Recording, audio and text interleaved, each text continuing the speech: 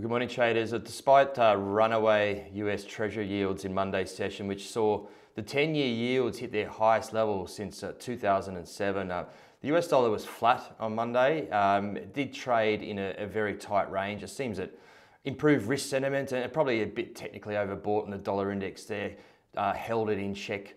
Uh, dollar index did trade in a tight range, lows of 103.13 uh, high of 103.50, which is just below those July and August highs where we've seen a, a lot of resistance come into that market.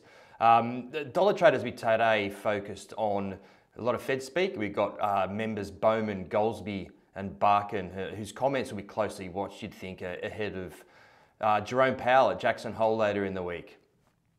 Uh, Euro was outperforming major currency. Uh, Euro US pushing hard to reclaim that psychological 109 level. Uh, it did, did pop its head above it, but uh, failed to hold convincingly. Uh, another headline to hit the wires was HSBC giving a bullish take on the euro, uh, in, in part built on the idea of upside in the euro from overly dovish rate expectations by the ECB. They noted while headline inflation uh, figures are cooling, core inflation is proving uh, quite a bit stickier.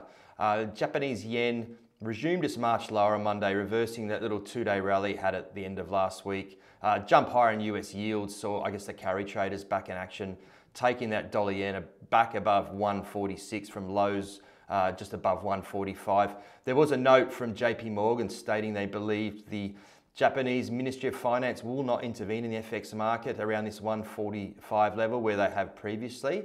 Uh, they believe that the threshold level is probably up to that 150 now, so that'll be an interesting one to watch.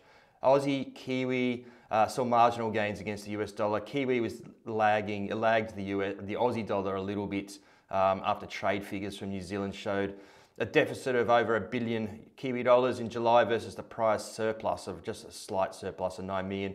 Aussie, Aussie US reclaimed that big, big figure at 64 US cents.